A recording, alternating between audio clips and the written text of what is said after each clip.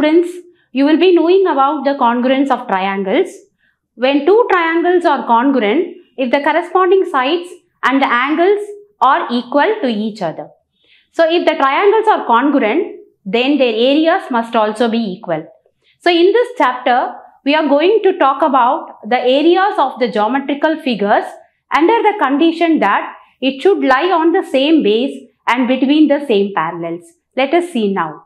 Coming to the theorem, parallelograms on the same base and between the same parallels are equal in their area. So here I've stated I've drawn a parallelogram ABCD and a parallelogram EFCD. So this two parallelogram it is on the same base and it lies between the two parallels. So we are going to prove that the area of the parallelogram ABCD equal to the area of the parallelogram EFCD. Uh, so now coming to the proof, we are writing the parallelograms ABCD and EFCD are on the same base DC and between the same parallels AF and DC.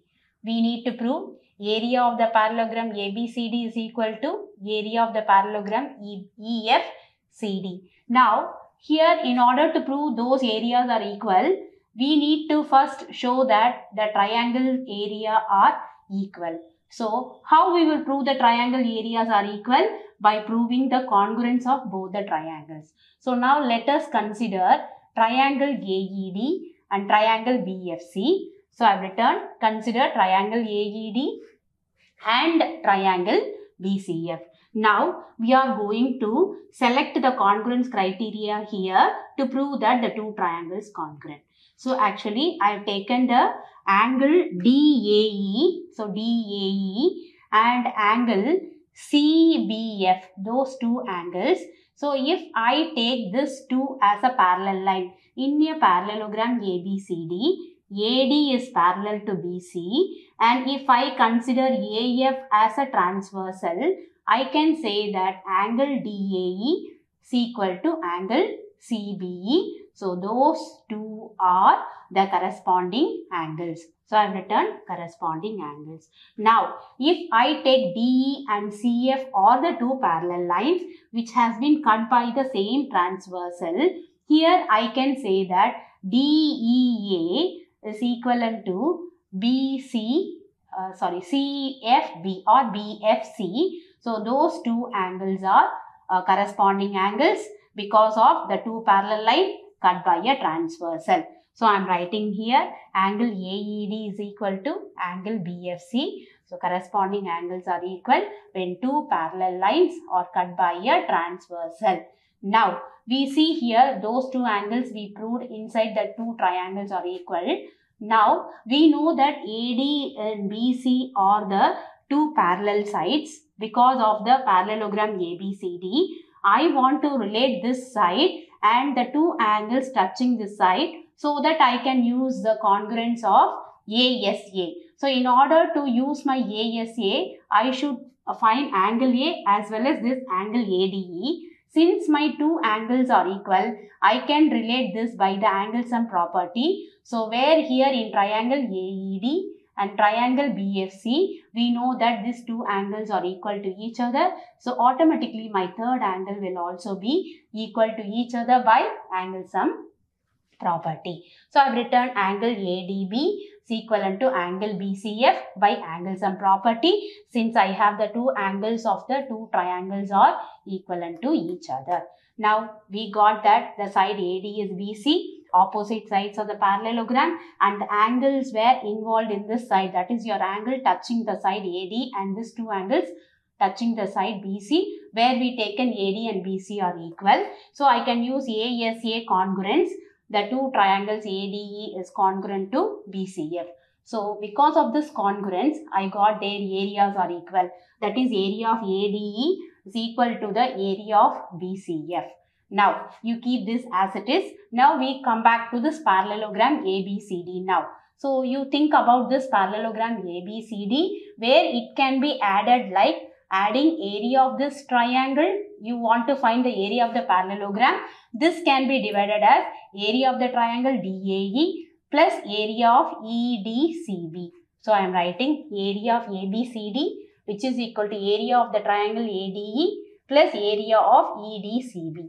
But already we know that the area of ADE is equal to area of BCF because those two triangles are congruent. Therefore, their areas are equal. So, I am going to replace my area ADE as area of BCF because of this condition. Now, I got area of BCF plus area of EDCB. So, now you see to the figure BCF triangle added with this area. So, I will be getting EFCD parallelogram.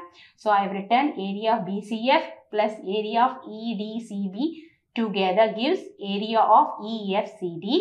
So, which is equal to area of ABCD. So, I proved that both the parallelogram ABCD and EFCD whose areas are equal to each other. Hence, I have stated the theorem parallelograms on the same base and between the same parallels are equal in their area. Hence, verified. Before we have seen two parallelograms on the same base lies between the two parallels. Now, we are going to see if a triangle and a parallelogram are on the same base and between the same parallels. Then the area of the triangle is equal to half of the area of the parallelogram. So he has drawn a, he has given a figure where A, B, C, D is a parallelogram and he has given A, P, B is a triangle. So here A, B, C, D is a parallelogram and APB is a triangle. So he has given a parallelogram and the triangle which lies on the same base which are on the same base and lies between the parallels AB and CD. Maybe CD can be extended to DP. So I can say it lies between the parallels AB and CP. I want to show area of the triangle PAB is equal to half of this area of the parallelogram ABCD. Coming to the solution, I've said angle APB or PAB and parallelogram ABCD on the same base AB and lies between the parallels AB and PC. To prove the area of the triangle PAB is equal to half of the area of the parallelogram ABCD. Now, in order to prove this, I am going to draw the line BQ as though this BQ should be parallel to your AP in order to obtain the another parallelogram ABQP. So I am constructing BQ line such that this BQ is parallel to AP. So here PQ parallel to AP to obtain a parallelogram ABQP. So here we have seen ABCD one parallelogram and ABQP another parallelogram. So those two parallelograms similarly it lies on the same base and between the two parallels.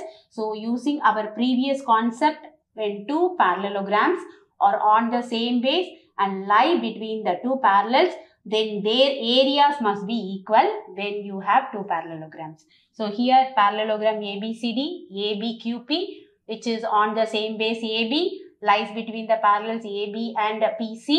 So we get area of this parallelogram is equivalent to area of the parallelogram AB PQ. So we are calling this as equation 1.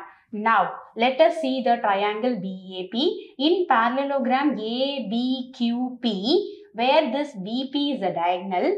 We studied in earlier classes that the diagonal BP of a parallelogram divides a parallelogram into two congruent triangles. This was the basic concept of your parallelogram. So here BD is a diagonal which divides a parallelogram ABQP into two equal, two congruent triangles A, ABP and BQP. So I am writing here triangle BAP is congruent to triangle BQP because of your diagonal. So, if these two triangles are congruent, automatically their area should be equal. So, I am writing that area PAB is equal to area BQP. Now, I am going to take my area PAB. Since this area BAP and area BQP are equal triangles, that is your congruent. So, their areas are also equal. So I can say this BAP area is equal to half of this full area of the parallelogram. So I'm writing BAP area is equivalent to, uh, see we know that those areas are equal because of this congruent. Now this area I'm writing it as half of this parallelogram ABPQ. Now by equation 1 we know that area of ABPQ is equal to area of ABCD. So replacing here I'll be getting half of area of ABCD. So I proved that area of this triangle is equivalent to half of the given parallelogram.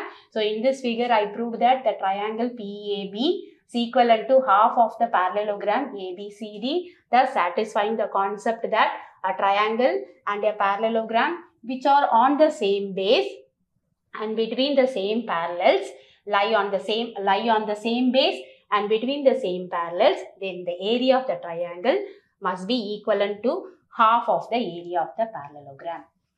So coming to the problem, we have P and Q are any two points lying on the sides CD and AD respectively of a parallelogram ABCD.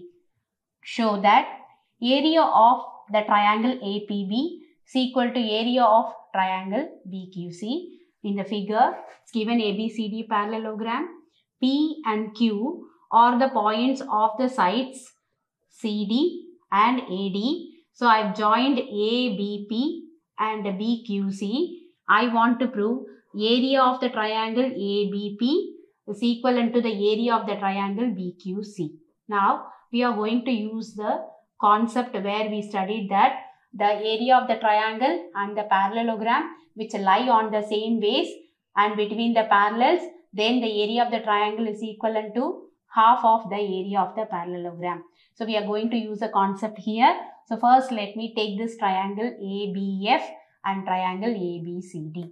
Sorry, parallelogram ABCD. So since triangle ABP and parallelogram ABCD, where this triangle ABP and parallelogram ABCD lies on the same base AB and between the parallels AB and CD, I can write area of APB is equal to half of area of the parallelogram ABCD by using the old, the previous concept. So calling this as equation 1.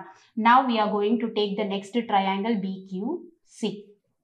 BQC and parallelogram ABCD. So this triangle BQC and the parallelogram ABCD which are on the same base BC and lies between the parallels AD and BC. So again using the same concept here and triangle BQC and parallelogram ABCD are on the same base BC and between the parallels AD and BC.